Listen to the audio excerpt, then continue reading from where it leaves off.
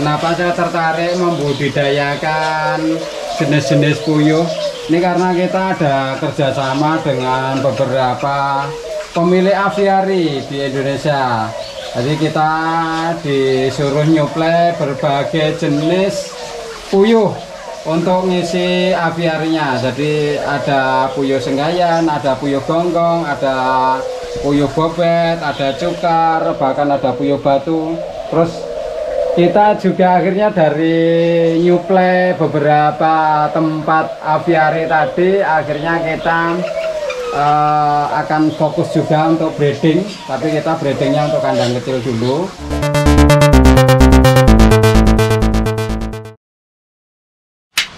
Oke plan, jumpa lagi dengan channel paling wagu sedunia.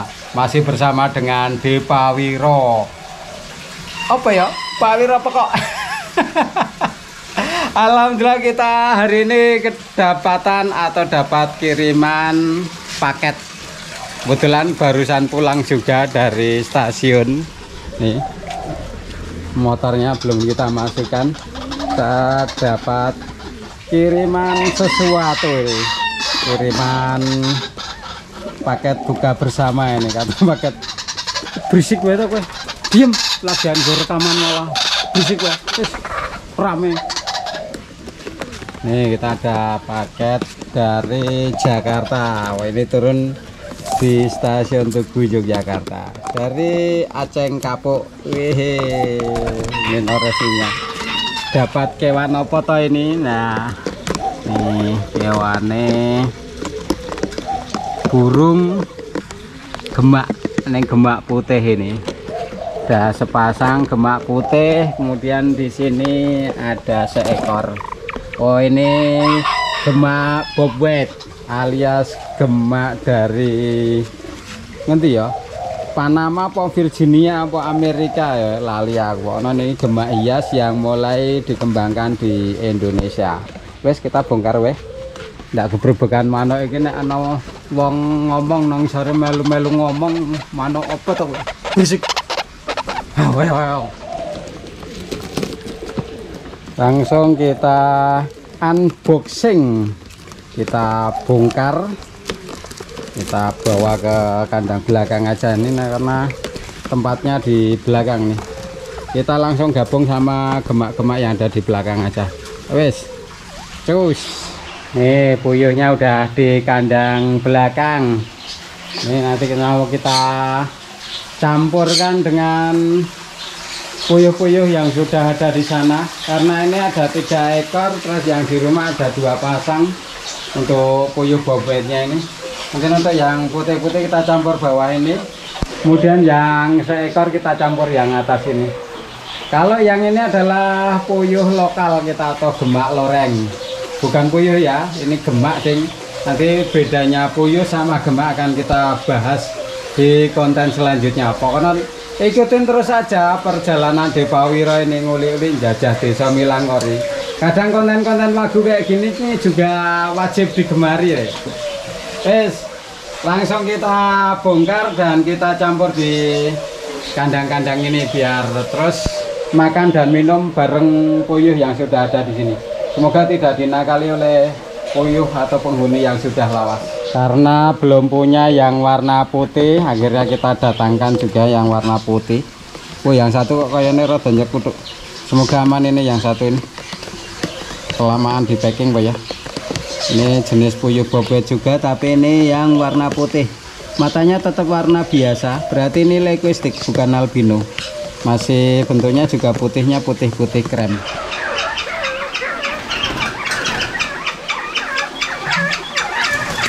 kok kayaknya terjadi ketakutan ini yang lawas ini. Yang lawas takut ini jadi apa harus kita pisah-pisah ya? Biar enggak ini.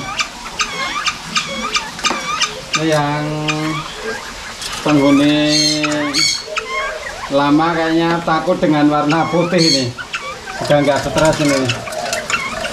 Itu yang puyuh biasa sih aman ini coba kita ganti cara masangkan atau ngemorkannya. Nah ternyata gini aja. Yang lama kita yang lawas kita amorkan sama yang lawas juga di sini. Nah ini. Ini lebih akur nih lebih nyaman ini. Terus yang baru nanti kita coba campur yang baru yang warna biasa. Kayaknya burung-burung saya juga ada yang takut aduh tambah satu malah tambah peti mana udah stres gitu ya coba kita masukin yang satu ke sini. Semoga kalau aman ya kita lanjutin. Kalau nggak aman masa kira campur lima di sini? Udah terlalu untek-untekan ini. Oh ternyata nggak apa-apa nih kalau yang ini. Ini udah biasa kayak di sana. Atau di tempatnya Om Aceh ini udah dicampur juga nih yang warna biasa sama ini. Ini kok kayaknya bukan bobet sih kalau lihat bentuknya apa bobet warna yang lain ya? Kalau yang bobet asli kan belteknya kayak gini. Ini kok ada dadanya ada putihnya kayak gitu ya. Gak tahu aku belum tahu persis. Tapi ini aku cuman lihat potensi bisnisnya aja di dunia puyuh ini atau burung-burung puyuh ini. Kenapa saya tertarik membudidayakan jenis-jenis puyuh ini karena kita ada kerjasama dengan beberapa pemilik aviari di Indonesia. Jadi kita disuruh nyuplai berbagai jenis puyuh untuk ngisi aviarinya. Jadi ada puyuh senggayan ada puyuh gonggong ada puyuh bobet ada cukar bahkan ada puyuh batu. Terus kita juga akhirnya dari nyuplai beberapa tempat aviari tadi akhirnya kita uh, akan fokus juga untuk breeding tapi kita breedingnya untuk kandang kecil dulu. Nanti kalau kita udah bikin aviari juga kita akan masukin puyuh-puyuh ini ke aviari atau kita kembangkan juga di aviari jadi untuk burung puyuh-puyuh ini sangat bagus sekali untuk pengisi aviari. Cocoknya untuk lantai bawah atau yang ada di tanah. Jadi kalau apiari itu kan ada yang di atas ada burung-burung di atas ada hutannya. Kemudian ada penghuni alas atau apa ya groundnya. Jadi tanahnya nanti ada jenis-jenis puyuh pune-pune tanah dan lain-lain termasuk gemak-gemak ini. Makanya kita juga mencoba breeding berbagai jenis puyuh. Dan insya Allah nanti akan kita kompletin juga puyuh-puyuh ini. Tidak cuman bobet puyuh loreng atau gemak loreng atau puyuh batu tapi kita nanti akan kompletin dengan berbagai jenis puyuh hutan Indonesia. Karena selain suaranya juga indah warnanya juga indah terus potensi bisnisnya juga indah plan eh siapa sing ra tergiur nek gawe uh, ternakan kok terus anak-ane laris?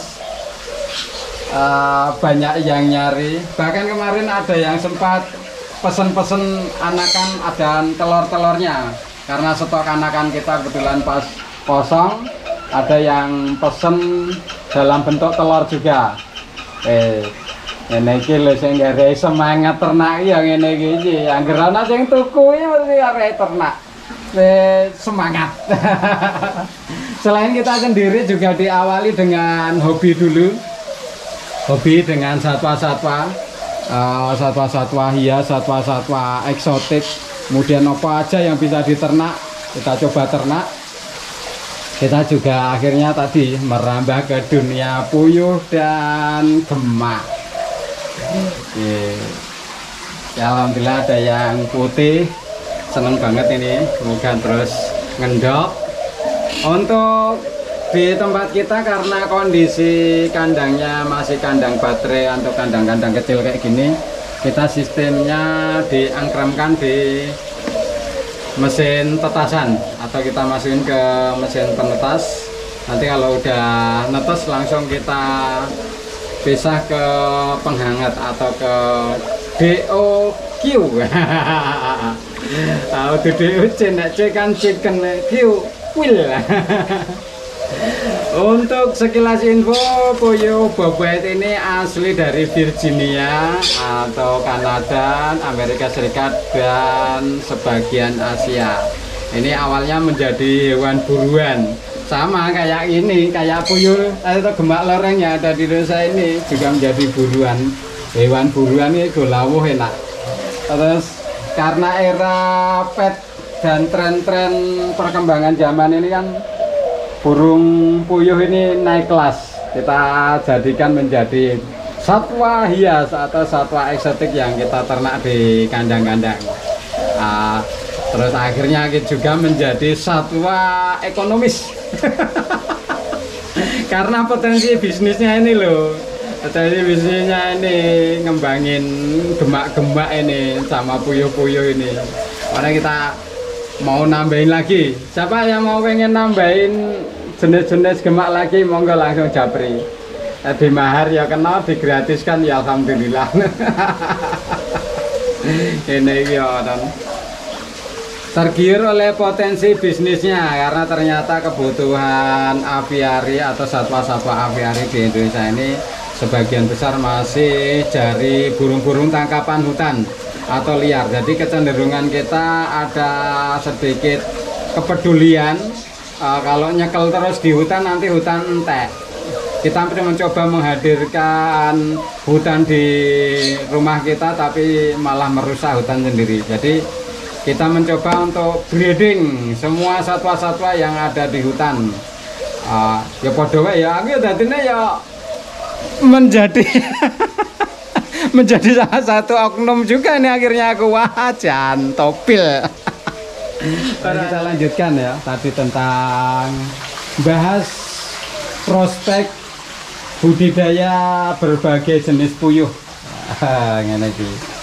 Ini yang baru nih plan tadi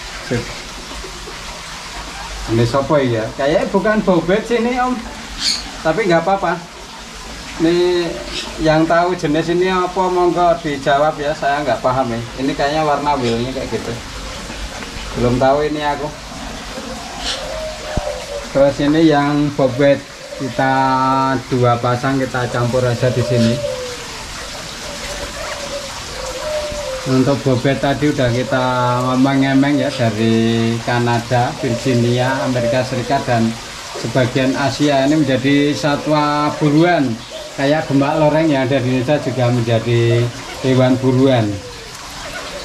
Uh, begitu dulu ya plan tentang pergemaan perpuyuhan walaupun suka moyai kita suka bilang raket ceret nah, kalau pas kita nggak punya uang tapi ini bunyinya nggak kayak gitu kok. Ini bunyinya bukan yang raket ceret. Kalau yang raket ceret itu kan puyuh-puyuh petelur yang ada di tempat peternakan puyuh atau puyuh petelur itu. Ini bunyinya lumayan cakep lumayan indah juga.